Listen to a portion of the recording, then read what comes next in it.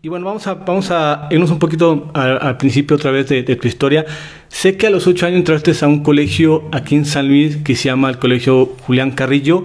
¿Cómo fue que llegaste a esa escuela y cómo fue cómo se dio el caso? Sí, eso fue gracias a, mi abuelo eh, materno que conocía al entonces director de la Escuela Estatal de Iniciación Musical Julián Carrillo, que era el maestro Carlos Undiano. Entonces realmente un día pues dijimos, bueno, si el, si el niño realmente está interesado en estudiar música, pues vamos a llevarlo a una escuela de música y, vamos a ver qué, en qué resulta, ¿no? Entonces eh, me llevaron, yo tenía aproximadamente ocho o a punto de cumplir nueve, años y es que yo hago este examen como de, de, aptitudes para ver qué era lo que a mí más me interesaba y ahí es cuando yo comienzo a estudiar pues de manera profesional, porque si es una escuela de iniciación musical certificada por la, por la Secretaría, entonces realmente es un plan de estudios pues avalado, ¿no?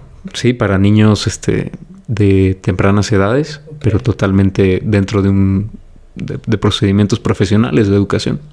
Platícame, platícame un poquito más a fondo cómo un niño de 8 años, 9 años, con esa mentalidad o con esa pues actitud, podríamos decir, estar en una escuela ya pensando que pues estás aspirando para ser músico profesional? Fíjate que mm, fue complicado porque yo sí sabía que me gustaba la música, pero realmente no estaba seguro em, dónde iba a terminar, ¿no?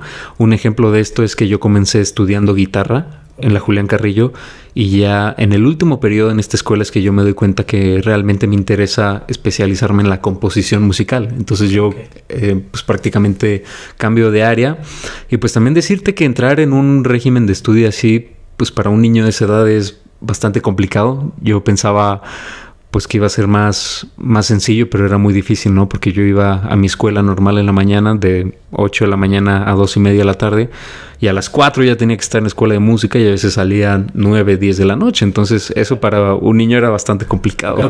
perdón, o sea, tú ibas a la escuela normal de 8 a 2 de la tarde y después en la tarde la de Juan Carrillo. Exactamente. Ah, ok, ok. Eso para un niño realmente, pues a esa edad hay muchas cosas que uno sacrifica, ¿no? Este y yo pues no dudo que muchas veces me haya querido dar de baja, pero no, es gracias a, mis papás y este conocimiento pues de la, de la disciplina, ¿no? Que también eso viene de, familia. eso, te iba a comentar.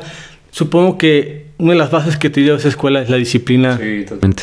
Totalmente. Uno, uno cambia su perspectiva, ¿no? Yo, yo entré ahí y yo pensaba que iba a ser estrella de rock, ¿no? Pero luego te das cuenta que las cosas realmente no van por ahí. Realmente te das cuenta que estás estudiando algo, algo en serio, algo profesional y, y te cae el 20. Y la verdad es que, que me haya caído el 20 a una edad tan temprana, la verdad yo creo que gracias a eso es que pues he logrado lo mucho o poco que, que tengo actualmente, Jerry.